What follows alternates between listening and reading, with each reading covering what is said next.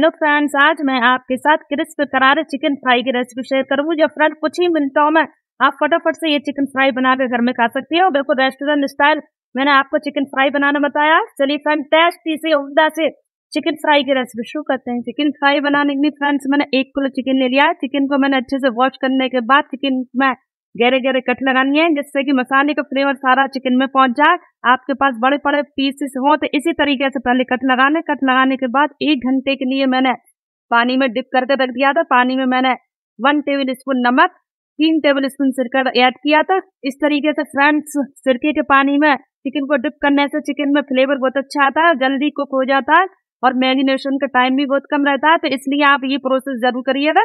Chicken में friends आपको पानी इतना डालना है कि चिकन हमारा बहुत ही अच्छे से डिप हो जाए।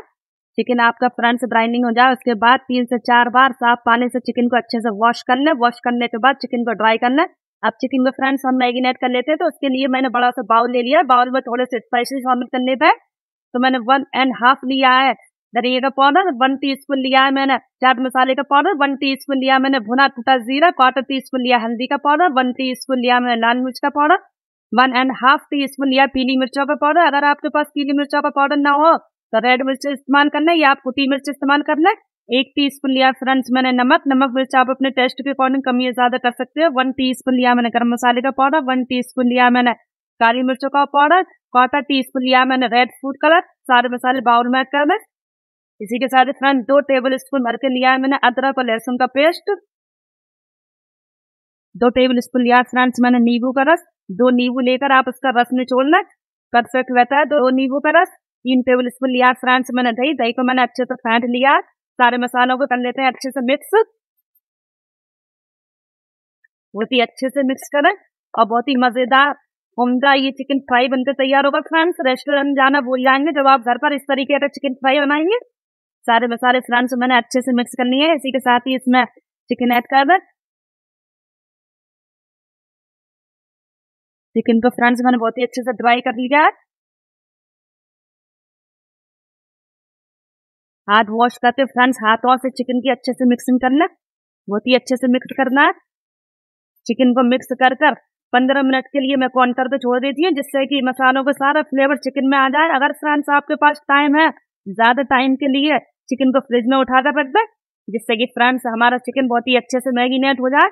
ये देखो, सारे मसाले मैंने अच्छे से चिकन में मिक्स कर लिया चिकन को पंद्रह मिनट के लिए ढककर मैं रेस्ट पे छोड़ देती हूँ। चिकन को फ्रेंड्स मैंने पंद्रह मिनट के लिए मैगिनेट पे छोड़ दिया। जब तक हम मज़ेदार से चिकन फ्राई के लिए चटनी तैयार कर लेते हैं तो उसके लिए मैंने जार ले लिया। जार में एक मुट्ठी हरा धनिया ऐड कर हरे धनिया की फ्रेंड्स मैंने जड़ उठाई है। डंठल रहने दिए इससे बहुत ही अच्छा फ्लेवर आता है। दो हरी मिर्च ऐड कर काट कर ठीक है साथ ही फ्रेंड्स मैंने एक टी स्पून लिया पुदीने का पाउडर पुदीने का पाउडर था मेरे पास तो मैं पाउडर का इस्तेमाल कर रही हूँ। आपके पास फ्रेश पुदीना हो तो उसका इस्तेमाल कर ले। आधा टी स्पून लिया मैंने जीरा जीरा डालने से दही की चटनी में बहुत ही अच्छा सा फ्लेवर आता है। चार कलियाँ लिए लहसुन की, आधा टी स्पून लिया फ्रेंड्स मैंने नमक याद कर देता है चटनी को फ्रेंड्स एक मिनट के लिए ग्राइंड करना उसके बाद चटनी में आधा कप दही ऐड कर दें दही डालने के बाद आप चटनी को अच्छे से पीस लें। ये देखो फ्रेंड्स दही वाली मज़ेदार चटनी पीसकर हमारी तैयार है। मैंने चटनी में पानी का इस्तेमाल बिल्कुल नहीं किया है। चटनी को उठाकर साइड रख देता है। पंद्रह मिनट हो चुका है फ्रेंड्स चिकन को मैगिनेट करे हुए। चिकन में अच्छी सी बाइंडिंग के लिए चार टेबल स्पून दिया मैंने बेसन बेसन ऐड कर देता है। तीन टेबल स्पून दिया फ्रेंड्स मैंने कॉर्नफ्लोर कॉर्नफ्लोर ऐड कर दे। एक्स्ट्रा फ्रेंड्स क्रिस्पीनेस के लिए लिए मैंने दो टेबल स्पून चावल का आटा, ये ऐड कर देते हैं। अच्छे से कर लेते हैं सबकी मिक्सिंग हमने दही और नींबू का रस चिकन में पहले से ही ऐड किया हुआ है, इसलिए फ्रेंड्स हमें पानी की कोई ज़रूरत नहीं है चिकन में। बेसन हमारा बहुत ही अच्छे से चिकन पे कोट हो जाएगा। और चिकन भी अपना पानी छोड़ता है, इसलिए मैंने पानी का बिल्कुल भी इस्तेमाल नहीं किया। बहुत ही अच्छे से मिक्सिंग कर ले। बेसन और कॉर्नफ्लोर फ्रेंड्स, मैंने बहुत ही अच्छे से चिकन में मिक्स कर लिया है। ये देखें, चिकन हमारा बहुत ही अच्छे से बेसन में कोट हो चुका है। अब हम इसको फ्राई कर लेते हैं। चिकन फ्राई करने के लिए फ्रेंड्स, मैंने ऑयल को पहले से ही गर्म करने रख दिया था। ऑयल हमारा बहुत ही अच्छे से गर्म हो चुका है। गैस का फ्लेम मीडियम रख चिकन ऐड कर देते हैं। मुझे फ्रेंड्स, पानी की ज़रूरत नहीं पड़ी है चिकन को कोट करने में। अगर आपको पानी की ज़रूरत पड़े तो आप एक दो टेबल स्पून पानी ऐड कर लें बड़े बड़े पीसेस पहले ऐड कर देते हैं कढ़ाई में और डालते ही चिकन को ना थे, नहीं तो फ्रंट कोटिंग उतर सकती है। चिकन की कोटिंग फ्रेंड्स ऊपर से थोड़ी सी हार्ड हो जाए, जब चिकन को हमें टर्न करना है तब इसकी साइज़ चेंज करें। ये देखो फ्रेंड्स चिकन की ऊपर से कोटिंग थोड़ी सी हार्ड हो चुकी है। चिकन को टर्न कर लेते हैं। आप देख सकते हैं कोटिंग हमारी जरा भी नहीं उतरी है। अलग से पलट से हुए चिकन को फ्राई करना। आठ से दस मिनट तक फ्रेंड्स, हमें चिकन को बहुत ही अच्छे से फ्राई करना है। जब तक फ्राई करना है, जब तक से अंदर से चिकन हमारा अच्छे से टंडर न हो जाए। चिकन को फ्राई होते हुए फ्रेंड्स, दस मिनट हो चुके हैं, चिकन को निकालने पे आप ये देखें जरा भी प्रोटीन रही है, ना चिकन हमारा ढीला पड़ा है। और कलर देखिए आप, कितना प्यारा सा कलर आया है चिकन पर। और बहुत ही मज़ेदार टेंडर हुआ हुआ चिकन है नहीं?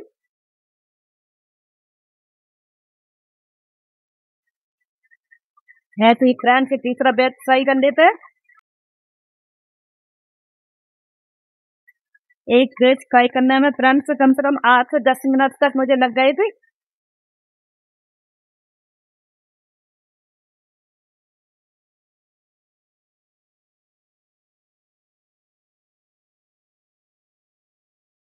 इस बैच को फ्रंट अलटते पलटते हुए फ्राई कर लेते ये देखिए फ्रेंड सारा चिकन मैंने फ्राई कर लिया।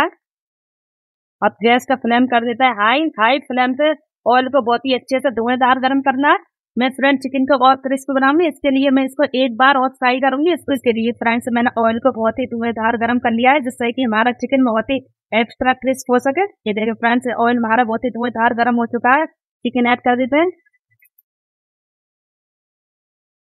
चिकन ऐड कर दूँगी।